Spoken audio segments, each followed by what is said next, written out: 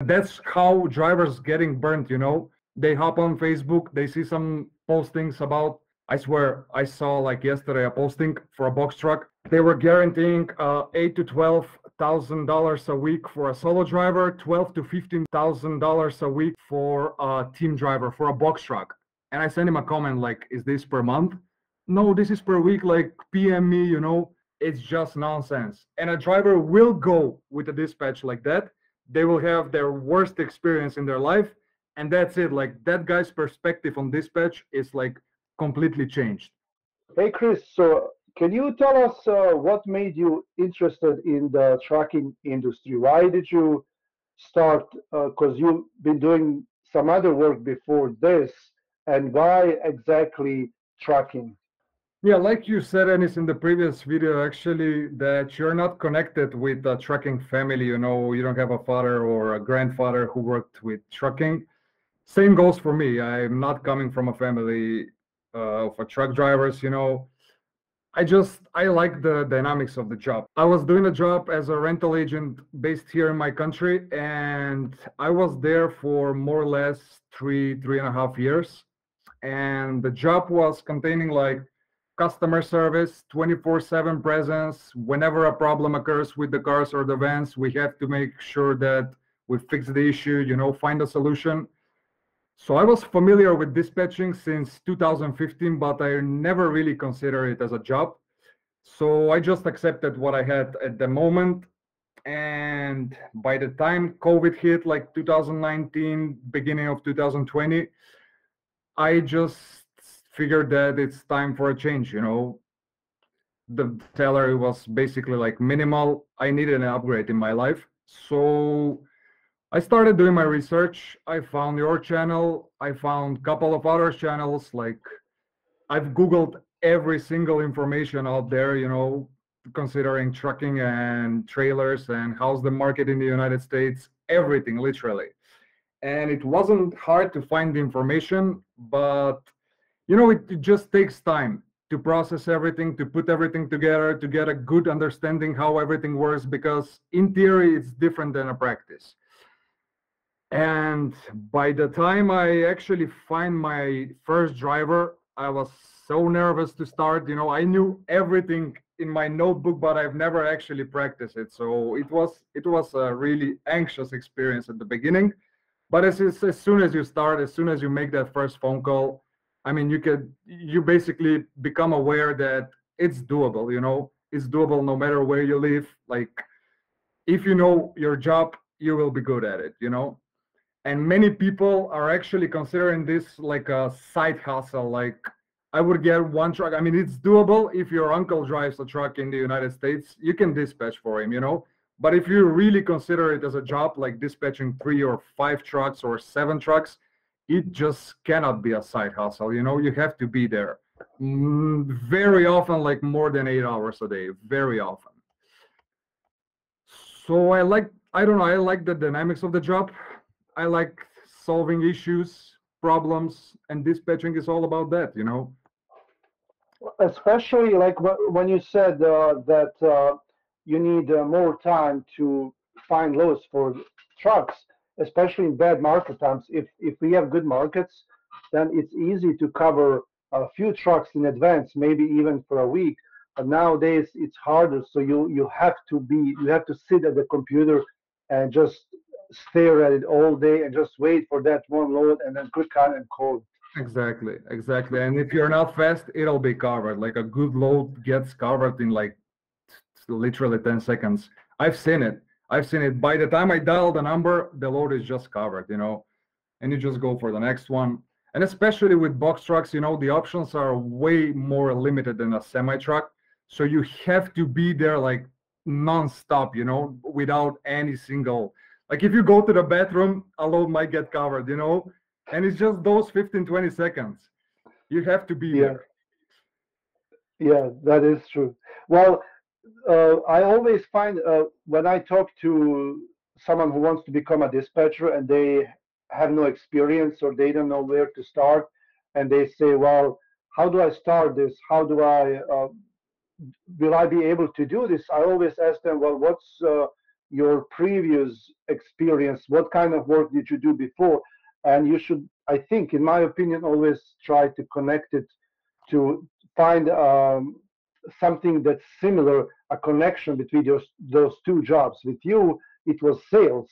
So you were in uh, sales in rentals, and you could easily say that this job is kind of like that. You're actually uh, looking around uh, for uh, loads and trying to buy those loads from the brokers and resell them to these drivers because you have to um, talk the brokers into getting more money and working with you and then you have to talk to the driver to the owner operator and and present that load so they understand that uh, you know the markets might be bad there might not be uh, enough loads where where the driver is in order to make sure that they understand the situation so they can take the load that, that's my opinion exactly exactly Enis, I have to cut it out a little bit. I'm having yeah, that's fine. I'm having a call. I'm not sure if it's the broker. Dispatch.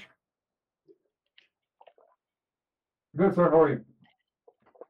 So when I initially asked you about uh, trucking industry, why trucking industry, uh, can you also tell us uh, how did you, because you were looking to find something uh, online to be able to work online, to be able to work from home using uh, your English skills because your English is very good and you have experience with computers as well. So you're trying to find something that you can do. But how did you uh, stumble upon uh, tracking and dispatching per se? What, did you do any research online? Like, hey, what could I be doing online? What, what's there that I could do that I would be able to to succeed in? How? Why exactly trucking? Why dispatching? As I said, like I was familiar with trucking dispatching since 2015, but I wanted to do this job like uh, in office, you know, work for a trucking company. But I live in a small town here in my country, and not many options are actually available here in the capital city of, of Macedonia, there are plenty of options to go work with. And I have actually sent like tons of CVs and emails about jobs, but they were all like, yeah, we, we offer this job, but it has to be done in office, you know, it cannot be done remote from home. So there was one trucking company in my town. I applied there. I went for an interview. Everything seemed all right, but about the salary, it was pretty much the same as my previous job. So it didn't make any sense like money wise. And that's why I didn't didn't go there. So I started doing some online research, like how can I do this like from home, you know? And at the beginning, when you don't have the information, it practically seems impossible. You know, you're just sitting at your home dispatching trucks in the United States, but it's doable at the end, you know? So I picked up like tons of information. And one small advice actually for new dispatchers would be like, you know you're ready to dispatch when you don't have like some nonsense question to ask, you know? When you go to the Facebook groups, if you ask some nonsense question, that means that you have to do some more research, you know? If you basically know the basic stuff of dispatching, you are ready. Tricks like, I don't know, double brokers, like blind shipments, drop trailers, those tricks you will learn along the way. But as far as basic knowledge goes, you have to know that beforehand, you know, before you you even start calling drivers and acquiring new carriers. So okay. yeah. That's that's a really good point. I uh, I get really good questions on the channel inside comments or uh, in the email but then also i get questions like that, like you just said, some really basic questions that, I mean, and then I'm, I'm thinking to myself, well, if you're asking this question, then it's this is either not for you or you have to learn a lot more. And I don't have the heart to tell them that I I'm trying to answer that because they asked me a specific question and then I answer that. I try to answer all the questions. Sometimes I can't. Uh, but like you said, uh, that's a sign that you're not ready. But then everything else can be learned along the way as long as you know the basics and then mm. everything else. Yeah, you're right. Okay, I I really like that. If I have a good question, I mean something that comes with an experience, and if I don't know it, it's okay to send you an email or a text message or whatever to ask you about it. But what is an MC? You know, it's pretty basic. You have to know that, like, what kind of trailers, what kind of cargo goes to what to different trailers. You know, you have to know those those things, and especially on Facebook groups, like people asking, "Oh my God, Oh my God, I'm I'm there, and like you said, you you you cannot tell them like directly. I I comment like, hey, just go back a little bit, learn some more, and come back to this group. You'll go from there. Not that I'm a specialist, you know, but I I literally filled up a notebook with, with information, and I went over it like five six times. You know, I made sure I knew everything that I can know online from the internet. As far as experience goes, it just comes day to day. Yeah. Well, as we spoke before, uh, I recorded uh, something similar to this with Emra the other day, and uh, there was this uh, philosophical question that came to my mind. Uh, something as in, like, don't you think that uh, a dispatcher should be aware of, at all times that they are affecting the driver's life at all times, the way they book the load? The where they send the driver, what kind of load, like the weather outside, because you have to, you're in a sense responsible for everything that happens after that. Of course, the driver is driving the truck, but if you on purpose send someone away from home when there's a holiday coming and you know that they can't get home or they gotta get home to see their family, you're affecting their lives. And same thing with uh, misinformation that you might have or your knowledge is not, I mean, there is not enough knowledge, there's not enough basic knowledge about this job. And, and you are dispatching someone, you're, you're giving them loads, then maybe you should wait, you know, because you're affecting their lives and maybe in a bad way. And, you know, you shouldn't be doing that. Many people don't understand actually this. Many people are thinking like, yeah, well, why not? I can try. If it doesn't work, like whatever, you know. But like you said, you're taking somebody's business in your hands. You know, you, you're taking their personal income in your in your hands. Of course, if he doesn't make money, I don't make money. But it's like I had a carrier that just told me that they quit their job to do this full time. You know, and now I'm responsible for him to make some money. You know, that's huge. You know, that's a big, big responsibility not many people understand this actually, and it's unfortunate. It's unfortunate. That's how drivers getting burnt. You know, they hop on Facebook, they see some postings about. I swear, I saw like yesterday a posting for a box truck. They were guaranteeing uh, eight to twelve thousand dollars a week for a solo driver, twelve to fifteen dollars for a team driver for a box truck. And I sent him a comment like, "Is this per month?" No, this is per week, like PM me, you know, it's just nonsense. And a driver will go with a dispatch like that. They will have their worst experience in their life. And that's it. Like that guy's perspective on dispatch is like completely changed. It's so hard to, to you know, to convince somebody that you actually know the job, you know? Yeah. And when you tell them a different number, uh, the to the driver, and then their reaction is like, "Well, you know, what are you doing? These guys are, they can make two or three times as much." I I was actually today I was looking at some comments, and uh, and uh, there was a posting like that, but this was about semi trucks, and it was promising a lot of money, some uh, uh, unrealistic numbers, and uh, I I expected, and there's like 30 comments, uh, 30 yeah. replies to that. And I was expecting for everyone to be ba- uh, bashing that, that person, like saying, hey, you know, these are lies. But no, everyone was like, yeah, yeah, I'll sign up with you. PM me. Uh, what's your number? Like they still believe them. I, I, I don't understand that. And I, I just don't want to uh, like when we were talking before about uh, being responsible for drivers. I am. Uh, I don't want someone to understand me in a wrong way. I'm not trying to say this is not for everyone. I'm just trying to say you have to do your research. You have to uh, uh, either be trained or, or like you, you train yourself and, and understand what's at stake. And then when you feel comfortable and you, you, you, you know, you gotta make sure that uh, you understand the industry, then start doing it. But before that, make sure you do your research. 100%, 100%.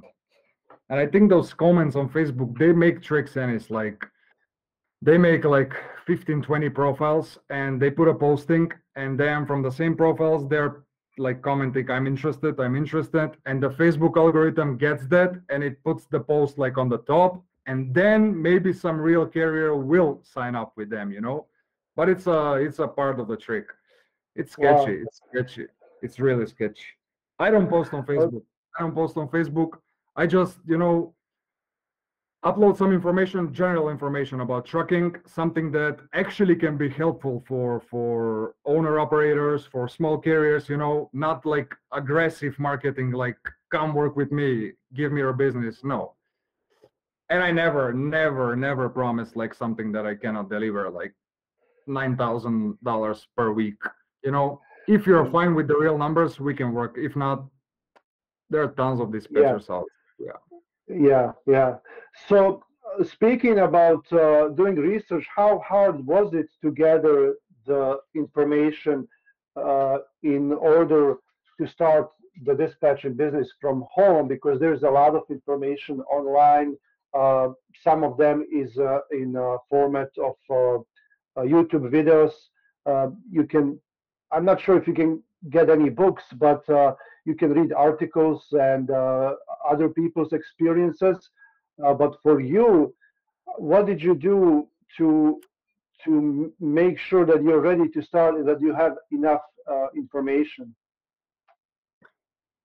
If I consider this in 2015, I'm like 100% sure that this would not be possible because this has been like for the past couple of years, this has been like, you know, people are getting more and more into it, and people like yourself, you know, putting information online, doing YouTube channels, you basically now made like somebody honestly can go to your channel and if he watches all of your videos, I mean, you know, he can get all the information. You present real life situations you present facts you present things that has to be done in order to start your business and everything. So that's actually how i did it you know? I've watched a few credible people's uh people one of them is you you know but they're all like they're all suggesting the same things basically. And there are like these agents uh, in the united states which forms your company. And you can go on their website. They're they've put their requirements what you need to do what you need to provide how much it costs for filling for maintaining you know everything. You have to buy a vpn you have to buy this and that. You get everything and you're basically like ready to start but as i said you will have to have like every single information that is available online written somewhere you know? And you have to make sure you went over it. Like you cannot just because opening opening up a business it's really easy man. You just pay the money to the guy and that's it you know? The hard part is like the actual job the practice. And that's where i think people should should focus you know So, what, what do you think is uh, the hardest part about this job? Like, give me one thing that that's like everything else. It matters, but it's fairly easy. But what's like the the part that uh, uh, you as a as a new dispatcher found out to be the hardest? reliable driver Enis for sure like someone that really understands the struggle because i've had drivers that were thinking that i'm not actually on my computer you know looking for loads because i wouldn't contact them for two or three hours because there are no loads. And they were thought like oh chris like you're not doing this seriously you know and that pisses me off you know. I mean yeah So i guess not- finding, finding a quality driver So it's not it's not finding drivers; it's finding good Exactly. drivers. Exactly. Okay, Because you can, but- I've tried like, I've tried every tactics, like sending emails. I went on ZipRecruiter, applying directly from my country, you know. For example, they would state like, we are looking specifically for a dispatcher in New Jersey. I would still apply, you know. And I went over there, no response. I went on Indeed, sent, I don't know, thousands of emails, no response. And then I started contacting drivers directly, like first cold calls. I found that that's really not, I mean, maybe like right now, because there are so many people doing this, drivers are getting like yourself, you've mentioned before, you're getting like 20, 30 uh, phone calls a day, you know, offering dispatching services, and people don't want to hear that. So I found the best way would be like send them a text message first. If they reply, if they're interested about about your services, then when you call, you actually have some credibility, you know, to talk with them. But still, after that, finding a good driver is really, really, really hard. Like someone that, that understands, you know, that you're actually working for them. Yes. Actually, uh, you have a video like, I'm sorry for cutting you off here. You have a video like dispatchers are the driver's friends. Not many drivers understand that, you know. I try to make sure like to tell them like me and yourself, we're both working for the trucking company, you know, we're both employees for ABC Logistics, you know. So as if I find you something good, I'm doing something good for myself. So it's a you know a win-win situation by definition, and it has to be like that. Well, like in any industry, there is uh, always people who do a good job and people who do a bad job, and same uh, even in private life. You know, you have all kinds of people. So if uh, there is a dispatcher that messes up sometimes, and there are people like that, then drivers would say, well, you know, all dispatchers are like that, and they would lose trust in all of them based on on what this one or, or two uh, person did. And then same thing with dispatchers and drivers. You have a unreliable driver, and then you'd be like, well, you know, drivers are like that. But it is not true. I've I've had so many drivers, and I still have some drivers with me that have been with me for over seven years, and you know they're great. And it's it's just like it, it's not uh, fair to judge everyone based on the action of, of one dispatcher and that's that's why i made that video just to tell mm-hmm. everyone. Hey you know like uh, i don't have to dispatch you. You can dispatch you. It's exactly. even better. Like you'll save some money and and you'll find loads that you like and it's totally fine. But uh, don't think that all dispatchers are out there to screw you over because that is not true you know.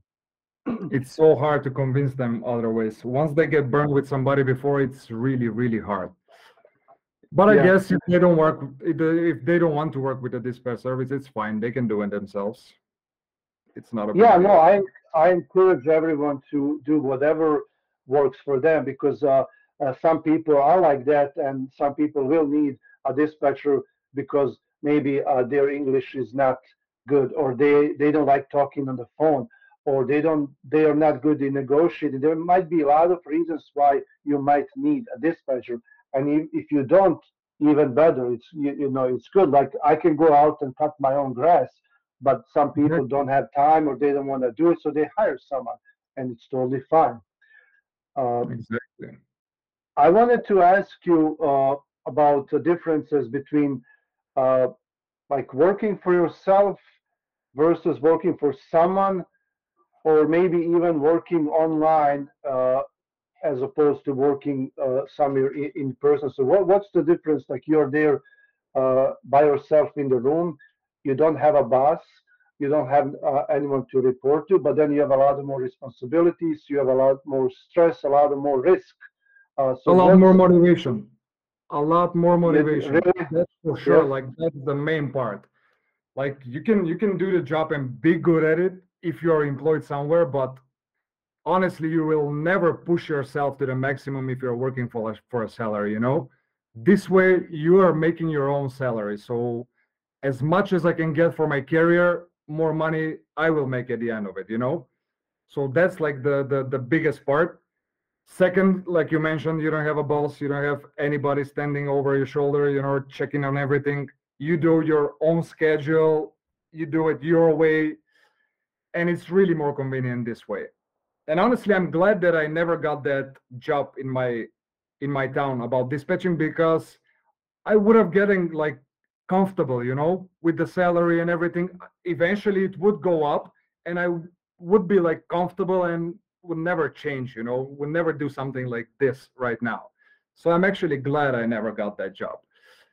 This way, it's it's it's way better doing things for yourself. That's for sure.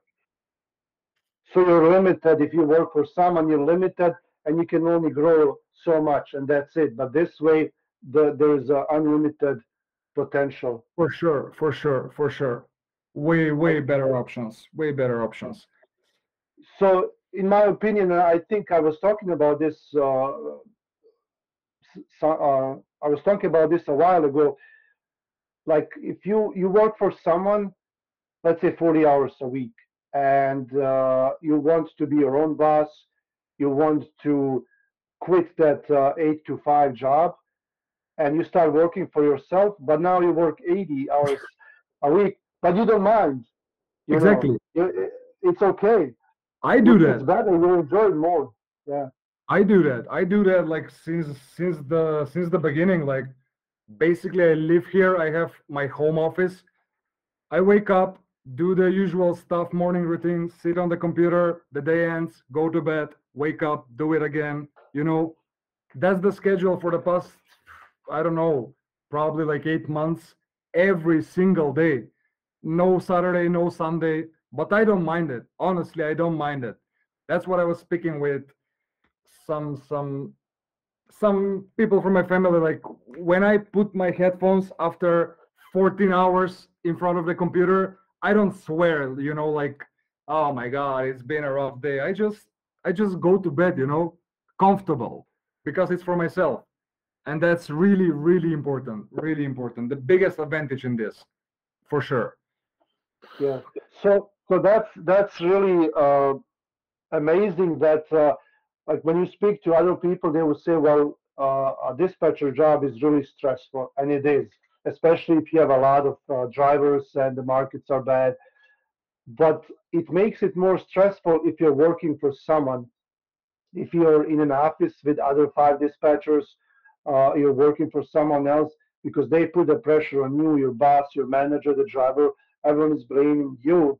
But if you work for yourself, even though you're the one taking care of, of the business, there's a lot more risk involved. You have to deal with taxes, uh, with everything else, with the business side of the business, not just uh, the dispatching side. But there's still less stress involved that way, as opposed to working for someone and doing strictly dispatching, in my opinion. I agree to some point uh, because if you mess up at work, you know, you can always go to your i don't know supervisor boss you know whatever he can take the responsibility here people call you you know? Driver calls you. Broker calls you. Shipper calls you if there's something with with the delivery or the pickup you know? And you have no person to go you know? So you have to pretty much make a solution by yourself get the right decision on time you know? Let everybody know about the problem. Like if you're in the office you can always reach out to someone maybe a colleague a dispatcher that is more experienced you know? Hey tell me how to do this right here i mean i can send you a message but you know it's not the same it's not yeah. the same the stress is there and especially about the responsibility like we mentioned way bigger responsibility than being like employee in some trucking company you do have a responsibility to find a load but not like you know here it's like other people's business in your hands and it's it's a big thing you know it's their personally yeah. yeah it is because uh, you you got to be responsible uh, and i see that you you are that way and then if you do everything uh, the way you're supposed to do if you plan the trip and if there's a problem you let everyone know on time then you should be fine because you cannot control any of that. Your your job as a district is to inform the broker if the truck breaks down, if uh, the the driver is being unloaded for two hours, you know, things like that. And once you do that, you take off uh, that responsibility off of you because you've done your part. I but, agree. Uh, but you you haven't worked as an, as far as I know in uh, in a big trucking company that has hundred trucks, and you you have like ten dispatchers that's really stressful because the boss and the big boss, the owner, they will come after you every day, especially if there are no loads.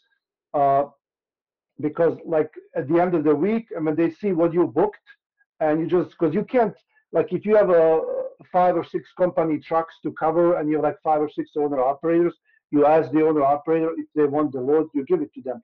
But if you have company drivers, then you have open hands to give them what's out there, the best load to, to keep them moving.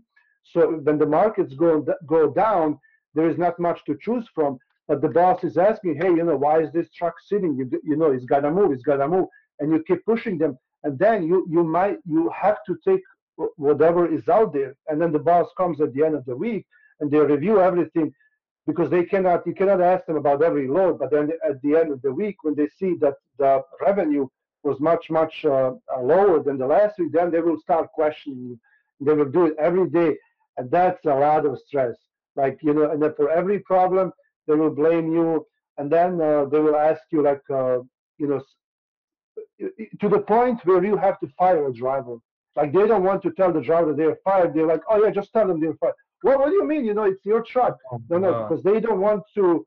Like they, they have hundred trucks. They they can't. They don't have time or, or, or the nerve to mess with everyone, and they just uh, push those responsibilities to the dispatcher. You know, and dispatchers have to do a lot of dirty work you know, th- that way. And I, I talked to tens, hundreds of dispatchers, and everyone says the same thing, you know. So, so that, that's a big problem. That's why it's it's stressful, you know. It's really different, like working like this and working in a trucking company. That's for sure. Like you said, I don't have an experience like working for a big trucking company, but I've heard like from Emro mentioned and some other people mentioned like dispatchers in a trucking company they can handle like I mean, not they they can handle. They're handling 15 trucks at a time. I mean, that's just too much, you know. You cannot be efficient with 15 trucks. But this way, our way, you can limit yourself, like you know, five trucks, six trucks. If you're comfortable doing that, you just proceed from there, you know. And I strongly believe that one dispatcher can handle like maximum seven trucks.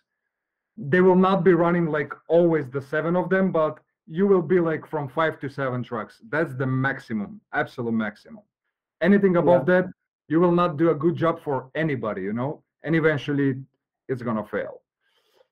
I spoke to uh, uh, one uh, guy here in town like uh, a week ago, and he said he had 17 trucks. Uh, you know, he works for a company here locally. Truck company has 80 trucks, and then he covers 17 of them. And usually, if the markets are good, then it's not a problem but uh, markets like these. And I asked him, like, how do you do it? He says, yeah, I just, you know, I'm used to it. Uh, the thing is, depends like uh, like you you're managing the business you're doing everything you have to you do the advertising you you're finding new drivers you know you got to have time for that but if you're strictly dispatching then that's all you have to do um, and uh, in my opinion around 10 10 uh, trucks if you're strictly dispatching is okay because out of those 10 trucks, two of them are not going to be working for sure because they might be sick or the truck is in shop, they're taking time off. Uh, two of them will be working only half of the week. So now you have like seven trucks on the average. Out of those seven trucks, not all of them will be loading and unloading uh, uh, uh next day because you know some of them will take two day trips or three day trips. So you will not have 10 trucks every day. You might have five trucks uh, to cover in a day. And that's that's not that hard you know. The only thing is like uh, if there's a problem you know like one of them has a really big problem and you have to deal with that problem for two hours then you have other drivers calling me calling you or you, you have to find roads for others. That's that's when it becomes really stressful yeah i agree i agree 100% i don't know how do they work like in the in the trucking companies but we do everything like you said.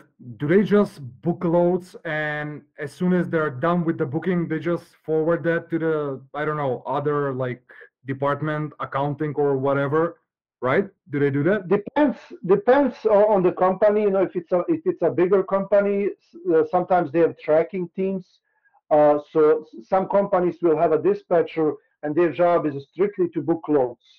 and then once they book the load, they give it to, to the next person down the line. And then that ne- next person will dispatch the driver, they will track the driver, will deal with, will deal with potential problems. Uh, so, the, but some, some companies, a dispatcher, uh, will do everything, you know, so it, it depends on, on the makes sense. structure of the company. Yeah. That makes sense. So, one more question, if you don't mind. Of course, I wanted to ask you, uh, since you're doing uh, kind of uh, an unusual job uh, where you are from and uh, where you're located, especially because it's online and uh, it's uh, in a different language and uh, you work for uh, a different country, if I can say it that way. But so, how is the reaction uh, from your friends and family when you tell them what they find out? You know, what's uh, how do they react to that? like my reaction was ridiculous when I started making actual money, you know, with this. I couldn't believe it myself. But I guess I don't know any. People are nowadays familiar with online working because there are like millions of opportunities to work online. And it wasn't like a big deal, you know, when I initially told them. But still, like I have endless support from my family here. They believe in me. The most important thing, I knew that I'm gonna success the day I began. I swear. Like it's not something I, I knew it. I was familiar with the responsibilities. I just needed the the the information about the trucking industry.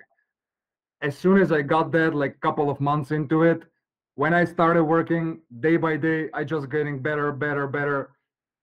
It's just it it's doable. It's doable as long as you believe in it.